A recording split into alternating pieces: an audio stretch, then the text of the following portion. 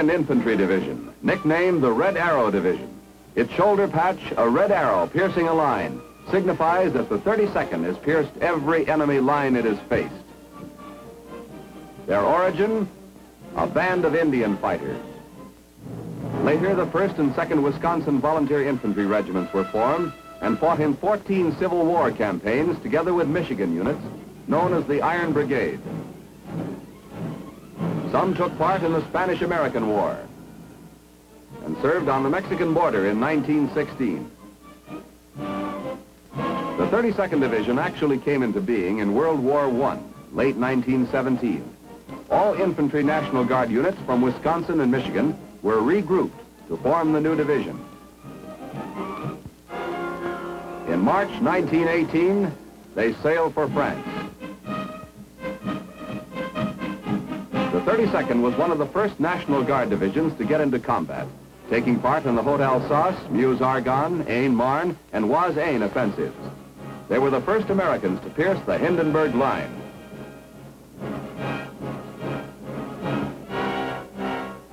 The French call them Les Terribles, the terrible ones.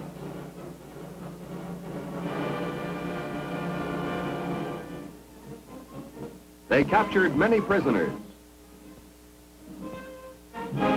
earned many decorations, five battle streamers, and several Croix de Guerre. After the armistice, the 32nd Division led the American occupation forces into Germany. They were returned to the United States and demobilized in May 1919. Twenty years later, the peace of the world was again threatened.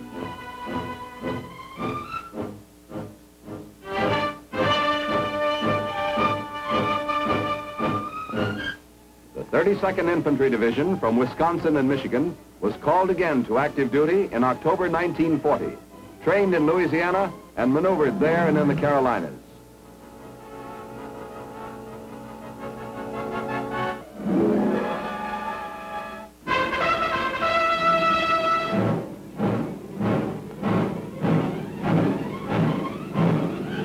After Pearl Harbor, the division was immediately triangularized with the 126th, 127th, and 128th Infantry Regiments. This was it, preparation for fighting. We knew we were going to need it, but we didn't know how much.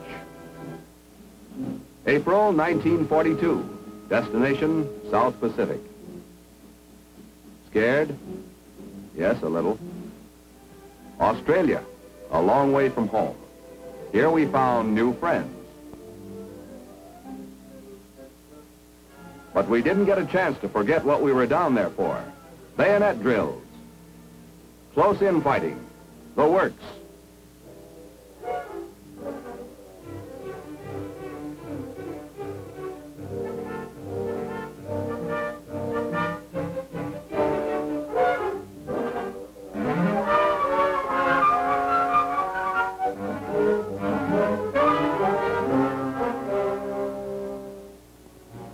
By late September in 42, the Japs, in spite of heroic resistance by the Australian Army, were within 32 miles of Port Moresby, New Guinea. Australia itself was in danger of invasion. Our 128th Regiment was given only four hours' notice and then airborne to Moresby, the first American regiment to be airborne into combat.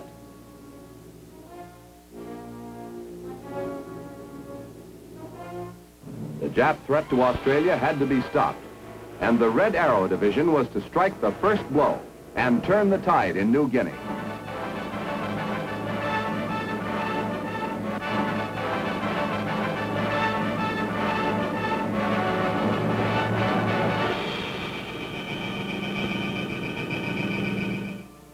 The Battle of Buna was to be the turning point of the war. Most of us were flown the 100 miles over the Owen Stanley Mountains, except the 2nd Battalion, cannon and anti-tank companies of the 126th, who went by foot over the Jory Pass.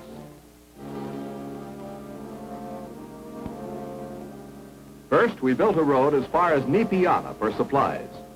What a job. Friendly natives helped a lot. Slugging it out over the mountains took 49 agonized days over the 9,000-foot range to reach Buna and to go right into the fighting.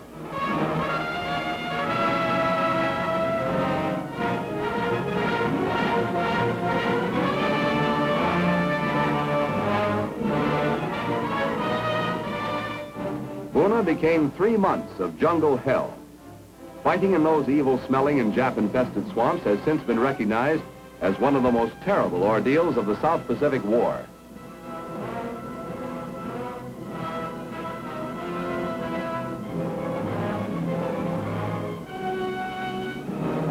The hopelessness of fighting against pillboxes with only rifles and hand grenades.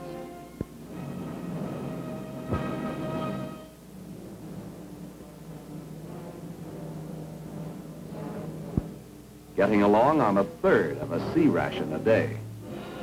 And yet fighting on in spite of it all.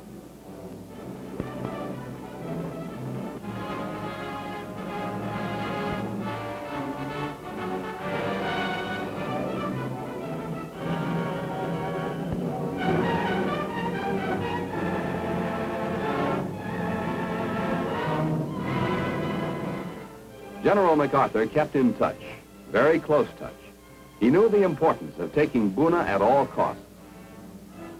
Somehow we struggled ahead, fighting an enemy that most of the time you couldn't see. We had to rout them out of trees and foxholes. They had us bested in the air at that time, too, and that didn't help our airdrops and supplies. But by January 1943, we'd taken Buna, the first Allied ground force victory in the Pacific. I guess we had what it takes by that time. With Buna 1, we were sent back to Australia for a much-needed rest. And did that mainland look good to us? Here we got our first replacements, and there were plenty of them. More training? Well, we didn't always like it, but we'd learned by now it paid off in battle.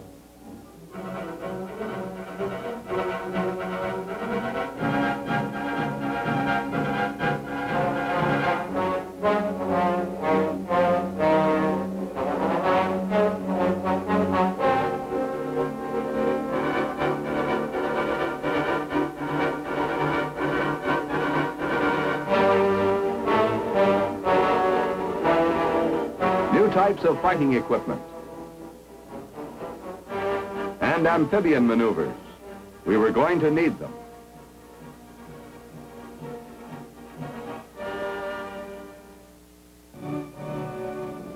Next, Saidor, January 2nd, 1944. We needed that airstrip. The landing was easy. We had plenty of Navy help.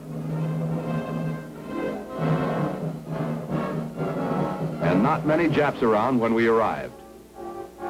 But they sure were on hand at the Mott River, where their 20th Division, cut off, tried to bypass us through the mountains. It took three and a half months to stop them. They fought bitterly to keep their evacuation trail open. But we'd learned some things by then and forced them higher and higher into the mountains, where hundreds died on the trail. It was all over at Saidor by April 14, 1944. Our next objective Aitape, 300 miles west of Saidor. We landed April 22nd. The Japs had expected us at Wewak, massed their 18th Army there, 40 to 50,000 strong. But we bypassed them, and with the help of a heavy naval barrage, we surprised them at Aitape.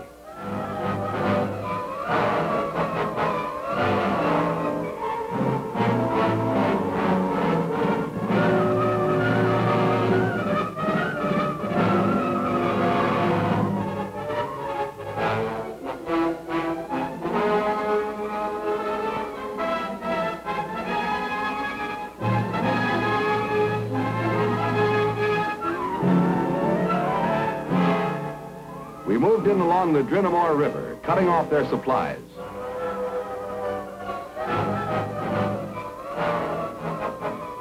Far outnumbering us, the Japs decided to try to knock us out and regain their supplies.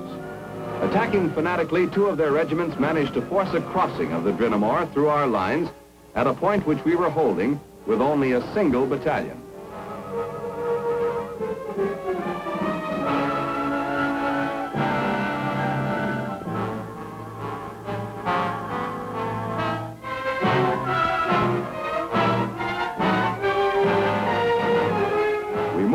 Two miles, reinforced and counterattacked. After sharp fighting, we regained the river line.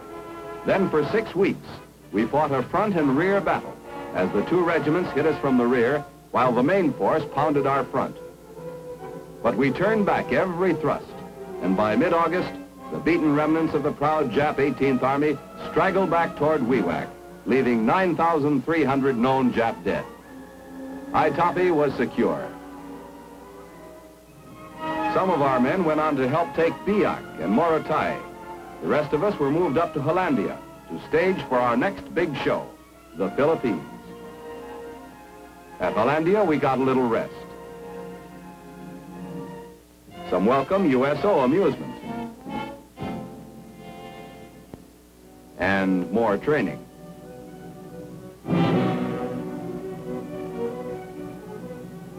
In November 1944, we left for the Philippines, Operation Leyte. They told us the score, and we knew we were ready. Had some action on the way.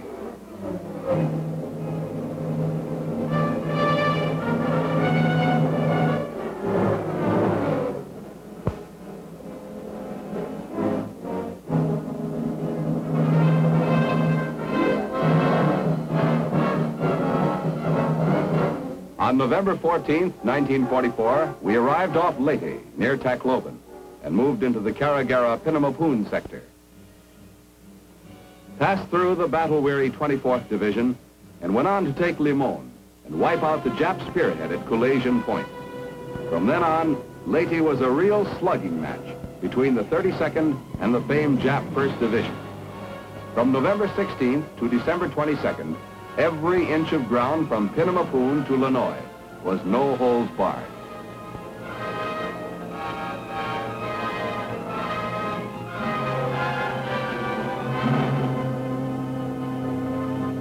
And 26 inches of rain in one month.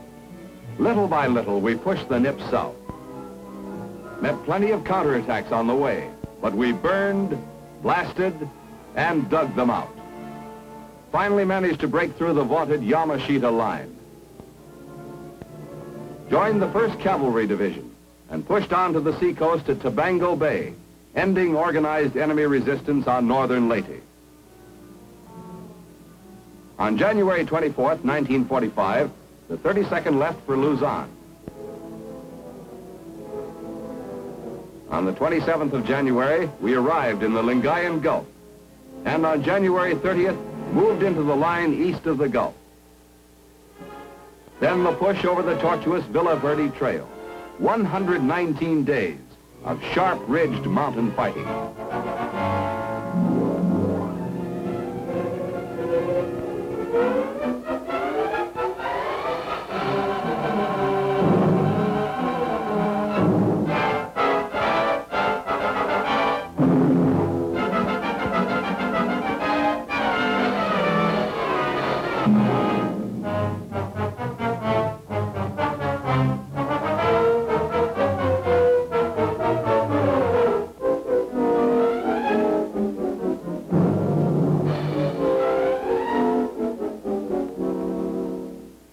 Had to build our own roads.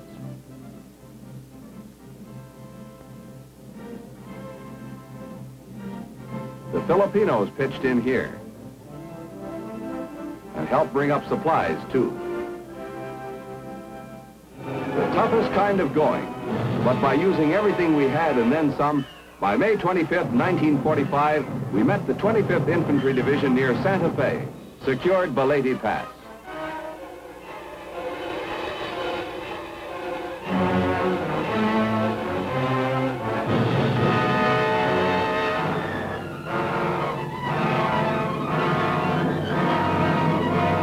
Than 9,000 Japs had been killed in the struggle. We didn't know at the time that this was to be our last combat mission, except for mopping up, which always means tough, hard fighting.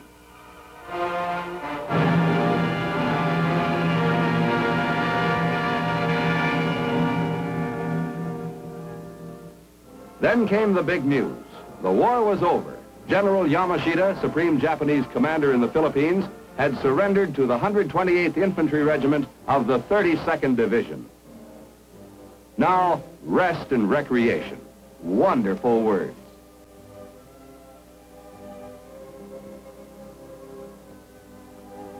Finally, on to Japan. And it had been a long, rough trip. We had come a long way since we left San Francisco on April 22, 1942.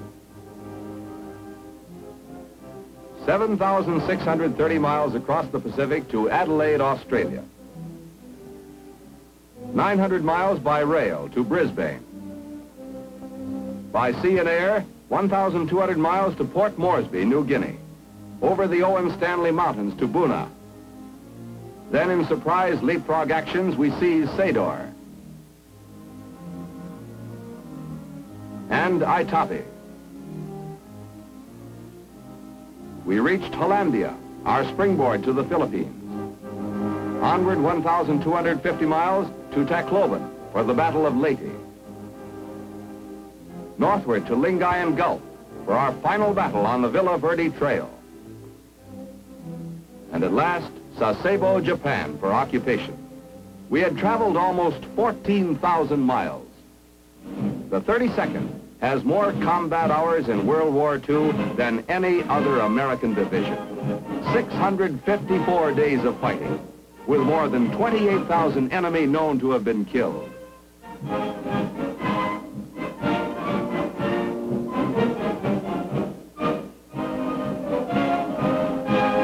Our shoulder patch has not lost its meaning. The Red Arrow Division has pierced every enemy line it has faced